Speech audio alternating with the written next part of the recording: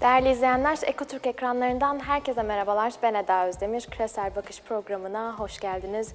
Yarım saat boyunca bu kuşakta daha çok Çin ve uluslararası ilişkileri, ekonomik anlamdaki bağlantıları ve yatırımları değerlendiriyor olacağız. Ama öncesinde bir haber turumuz var. Bakalım dünya çapında ekonomik gelişmelerde neler önüne çıkıyor ve IMF'in bir Türkiye değerlendirmesi var. Onunla başlayalım. Türkiye'deki politika değişikliği enflasyonu da kademeli olarak düşürecek diyor.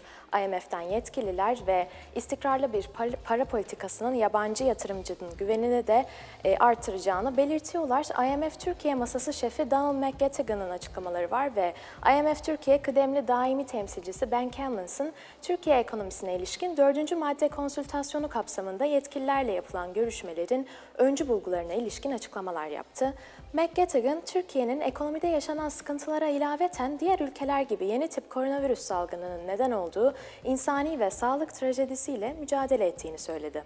Salgının ikinci yılına girdiğini anımsatan McGettigan, iki geniş alanda sürdürülmesi gereken çalışmalara ihtiyaç olduğunu dile getirdi Türkiye ekonomisinde ve ekonomi politikasındaki son değişimin zamanında yapıldığını ve memnuniyetle karşıladıklarını ifade eden McGettigan, sıkı ve sürdürülebilir para politikası uygulaması, fiyat istikrarının sağlanması ve hem Türkiye'de hem de yurt dışındaki yatırımcılarda güvenin artırılması için hayati önem taşıyor dedi.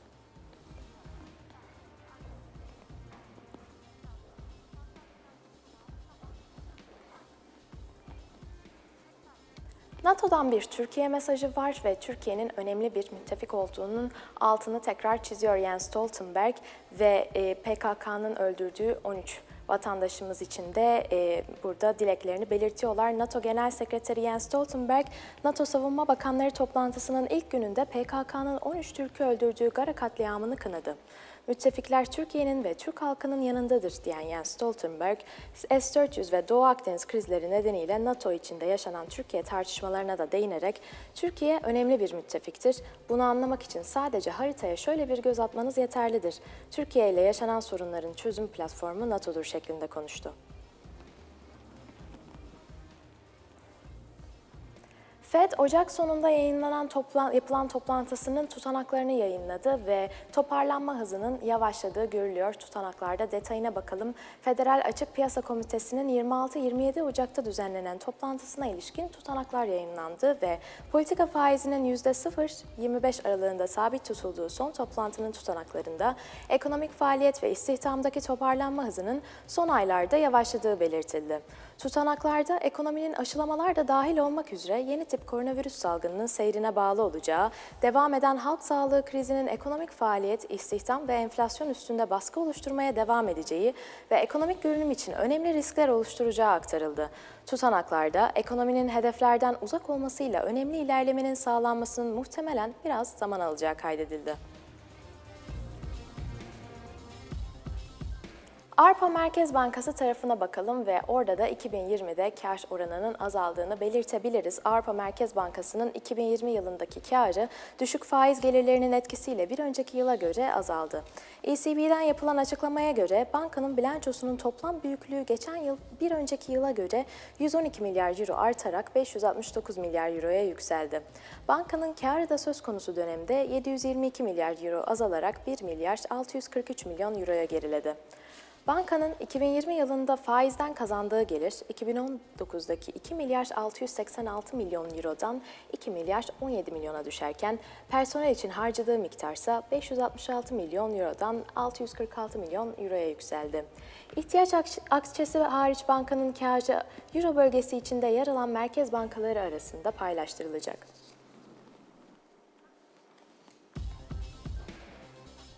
İran'dan nükleer anlaşmaya dönme çağrısı var ve ABD'dense diplomasi çağrısı. Bakalım detayına.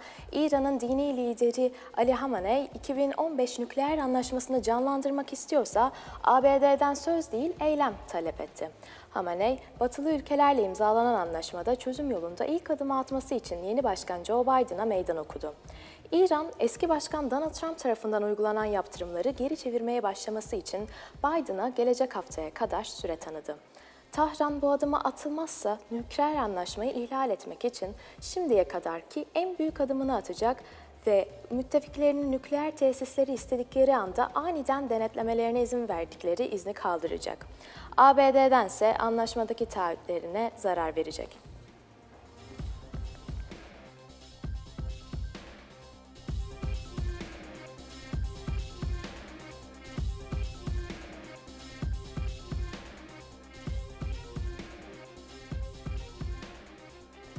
Değerli izleyenler konuğumuza programımıza devam etmeden önce bir piyasa rakamlarına bakalım. Şu anda fiyatlamalar hangi seviyelerde yön nereye doğru üstlerinden geçelim ve ilk olarak Avrupa borsaları geliyor ekranlarınıza.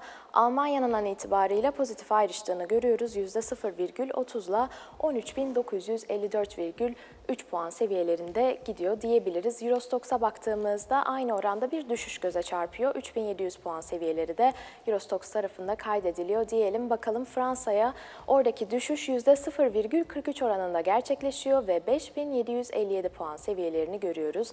İngiltere FTSE 100 düşüşte %0,80 ile 6677,61 puan seviyeleri o tarafta. İspanya IBEX tarafında ise 8118 puan seviyeleri kaydediliyor diyelim.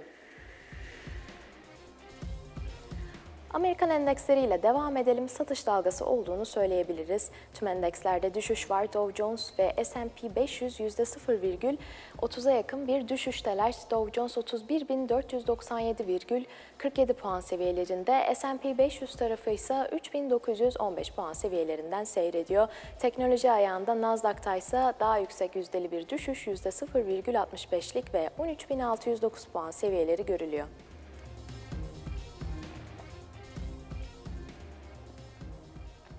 Paritelerle devam ediyoruz. Euro'nun ve Pound'un dolar karşısında değer kazancını görüyoruz an itibarıyla. Euro dolar tarafı %0,24'te yükselişte 1.20 seviyeleri kaydediliyor. Pound dolar tarafı ise %0,60 ile yükselişte ve 1.39 seviyeleri de o tarafta kaydediliyor diyelim. Ve bakalım dolar endeksine düşüş var. 90-70 seviyelerini görüyoruz. Doların yen ve İsviçre frangı karşısında aşağı yönlü hareketleri var. Benzer yüzdelerle ve dolar yen tarafı 105.71, dolar İsviçre frangı 0.89 seviyelerinde. Bir de emtia piyasasına bakalım. Burada oklar yukarıyı gösteriyor. Petroldeki artış sürüyor. Brent petrol varil başına 64 dolar 8 sentte %0,42'lik yükselişi var. Ham petrol ise yine varil başına 61 dolar 51 sentte orada yükseliş sürüyor diyebiliriz. Ons altına baktığımızda ise 1782 dolar 73 sentlere gelmiş durumda ve %0,40'lıkta bir yükseliş söz konusu.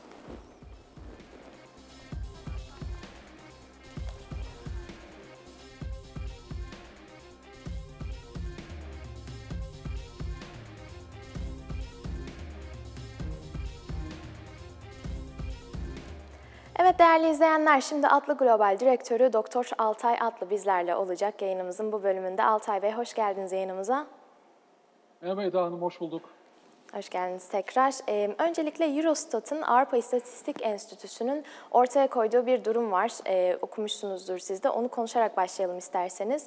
Ee, burada Çin'in Amerika'yı geride bırakarak Avrupa Birliği'nin 2020 yılında en büyük ticari ortağı olduğu verisi çıkıyor. İthalat ve ihracat rakamlarını topladığımızda ve yapılan total ticareti düşündüğümüzde önemli bir veri. 2020'nin ee, son günlerinde Avrupa Birliği ile Çin arasında önemli bir ticaret anlaşması da imzalandı. 8 yıldır müzakereleri süren. Özellikle Amerika tarafında Çin ciddi bir rakip olarak nitelendirilmeye devam ediyor. Joe Biden başkanlığa geldikten sonra da geçtiğimiz günlerde Çin Görev Gücü adlı bir birimin kurulması için bile emir verdi Biden. Ve bunun aslında aleni bir şekilde böyle bir birimin kurulmasının hem Çin nezdindeki karşılığını soracağım size hem de e, bu açıklanan veride Çin'in Amerika'yı ticari anlamda geride bırakmasının etkilerini soracağım. Önümüzdeki vadede bunun devamını, bu ivmenin devamını bekler miyiz? Sizin beklentileriniz nelerdir? Evet, e, en son sorunuza kısa bir cevapla başlayalım. Bekleyebiliriz. Yani bu ivmenin devamını bekleyebiliriz. Avrupa Birliği ile Çin arasındaki ticaretin e, daha fazla hız kazanmasını e, bekleyebiliriz. E, şimdi e, kısaca bir rakamlara bakalım istiyorum ilk önce. Bahsettiğiniz Eurostat rakamlarına. Hı hı. 2020 yılında e, Çin'in, e, şöyle söyleyeyim, Avrupa'nın Çin'den ithalatı bir önceki yıla göre 5.6, %5.6 artmış. Avrupa'nın Çin'den ithalatı ve 380 milyar euroya ulaşmış. Avrupa'nın Çin'e ihracatı ise 2.2, %2.2 artmış ve 200 milyar euroya ulaşmış.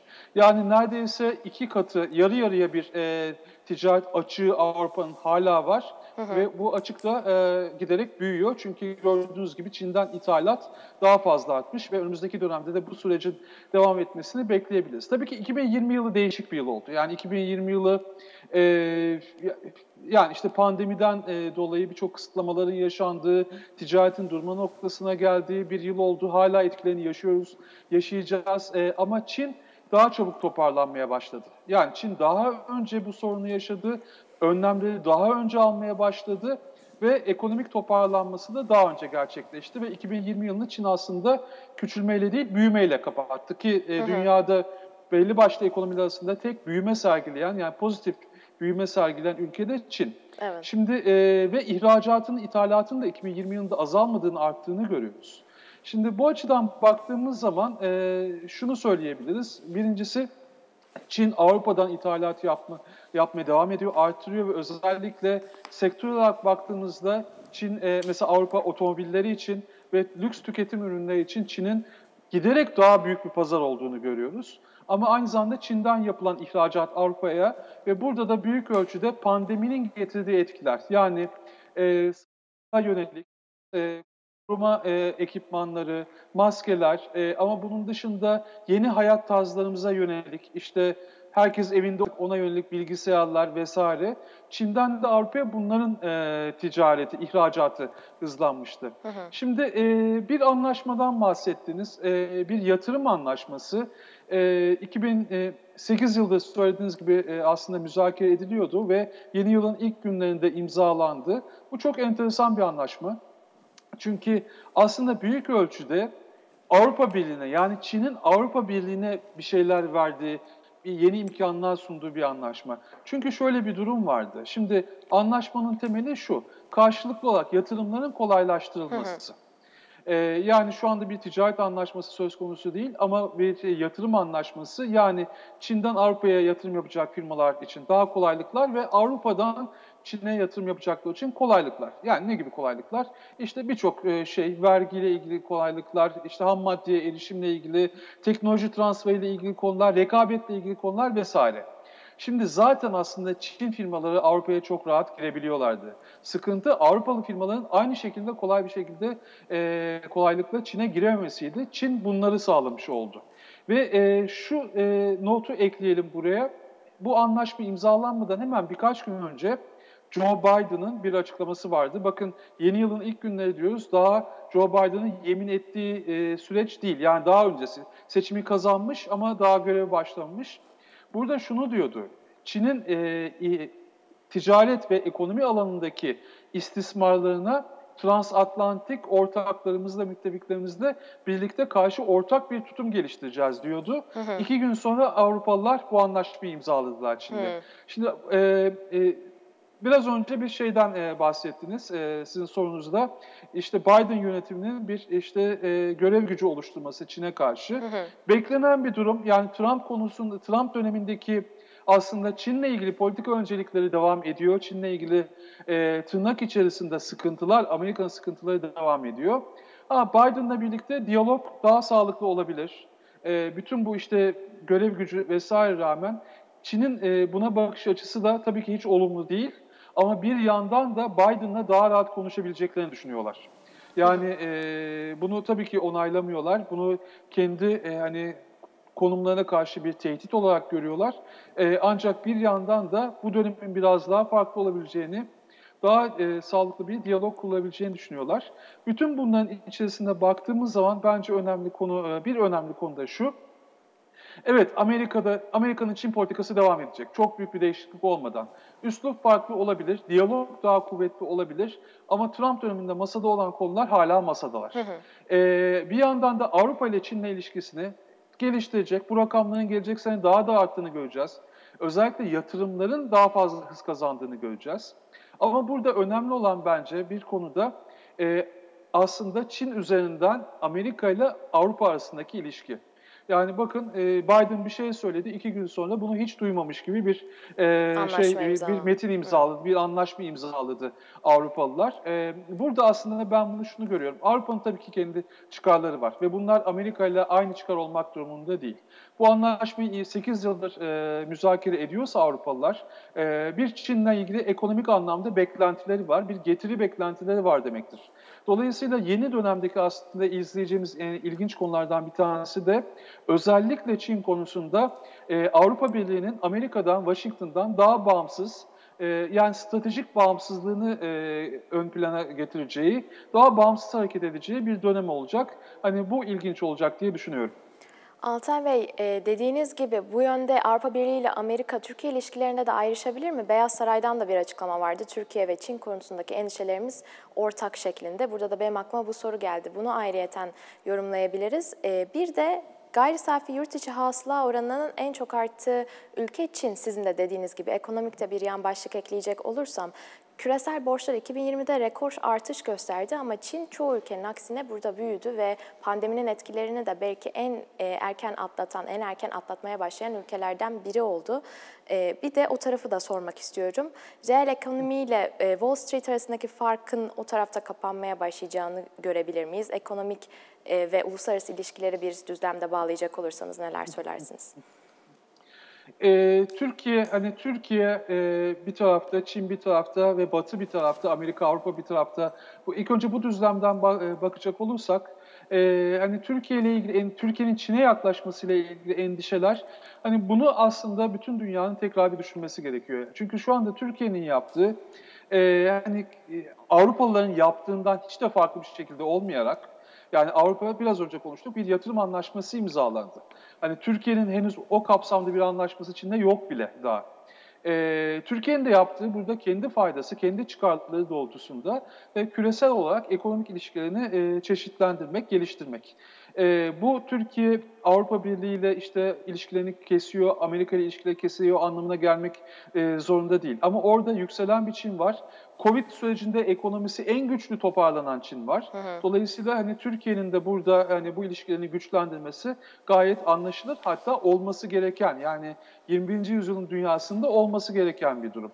Ee, farklı konulara katabiliriz. Hani aşı konusu çok e, devreye getiriliyor. Hı hı. E, Türkiye tabii ki e, Çin'den bu aşıyı aldı. Başladık yaklaşık 6 milyon kişi aşılandı şu anda. Ben de sıramı bekliyorum. Biraz daha var bana sıra gelmesine.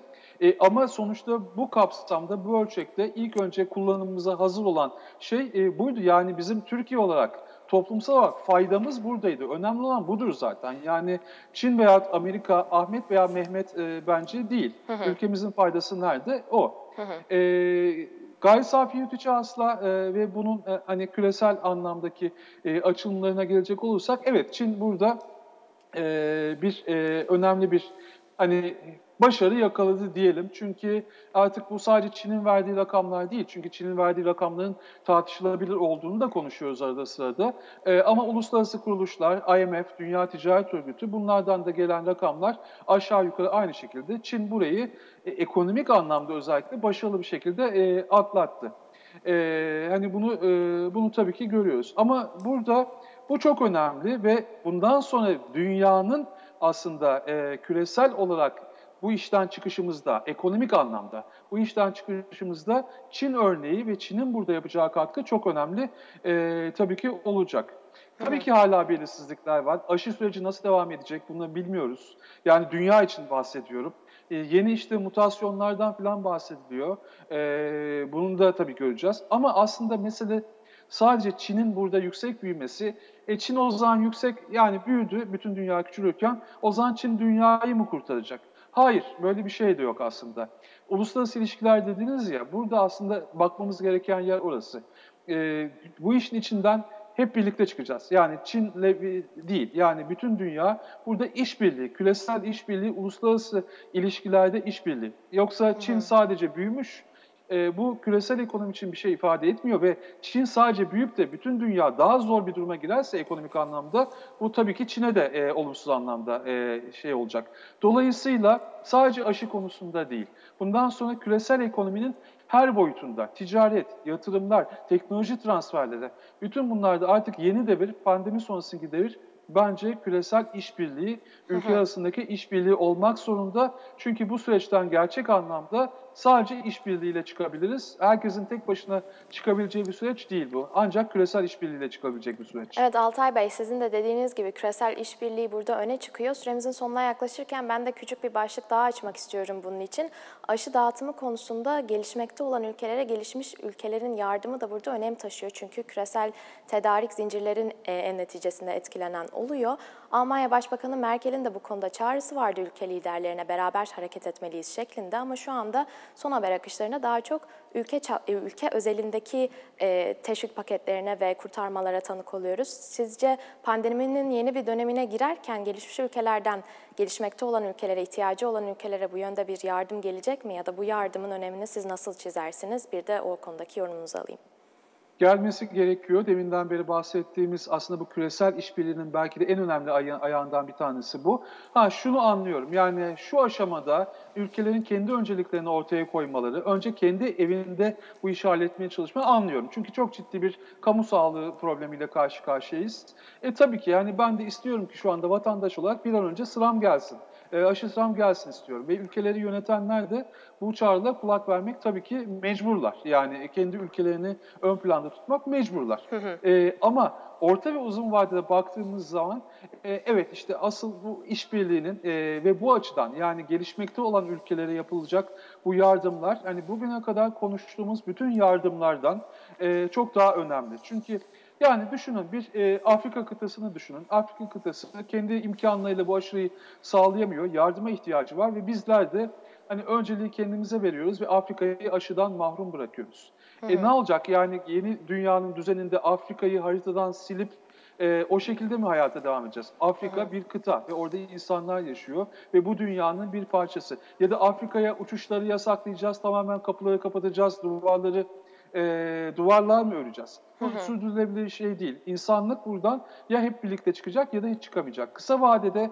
herkes kendisine tabii ki öncelik verir. Ben de isterim ki kendim ve ailem e, önce aşı olsun. Tabii ki bunu isterim. E, ama hemen bunun ardından işte bu e, hani gelişmekte olan ülkelere yardımı düşünmeliyiz. Çünkü bunu yapmazsak aşıyla beraber şu anda e, kazanılan yani gelişmiş dünyadaki e, sağlanan kazanımlarda çok çabuk bir şekilde e, geriye dönebilir. Yeni bir salgın başlar. Evet. E, o işte aşıyı vermediğimiz yerlerden başlar. Bütün dünyaya e, e, yayılır ve ondan sonra işte tekrar kara kara düşünmeye başlarız. Evet Altay Bey çok teşekkür ediyoruz değerlendirmeleriniz için. Ben teşekkür ederim Eda Görüşmek üzere. Yayınlar. Sağ olun. Değerli izleyenler Doktor Altay Atlı bizlerle beraberdi Küresel Bakış'ta ve noktalıyoruz burada kısa bir ara aradan sonra Stüdyo Londra ile tekrar karşınızda olacağız.